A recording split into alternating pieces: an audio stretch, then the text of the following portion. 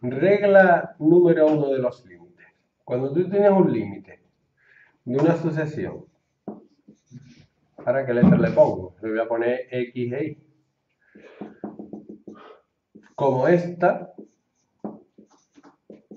donde X e Y son los exponentes de mayor grado numerador y denominador, esto tiene una regla muy simple. Si X es mayor que Y, tiende a infinito menos infinito. Ya depende del signo de A y B. El más o el menos depende de los signos de A y B.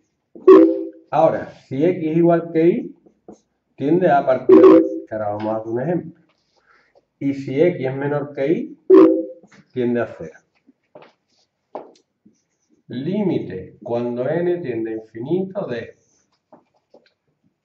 1 menos 3, no, más 3n menos n cuadrado partido n menos 1.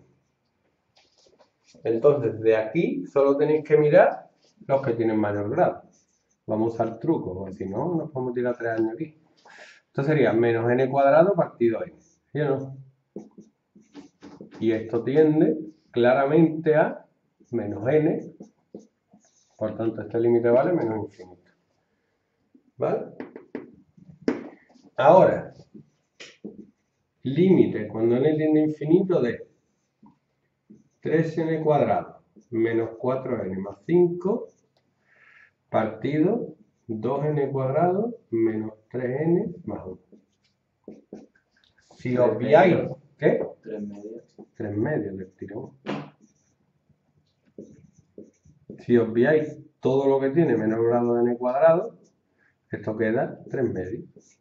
Que es la a misma, de da cuenta la vieja, si no tendría que hacer 3n menos 4n más 5 partido, todo lo de abajo partido, ¿no? Sería un infierno. ¿Y ahora a qué tiende esto? 3n menos Que 1. sería conjugado, ¿no? ¿O qué? No, todavía no. Ahora viene. ¿A qué tiende esto? Eso tiende n a... partido n cuadrado. ¿Eh? n partido n cuadrado. Tiende a. Menos infinito a cero, no sé qué.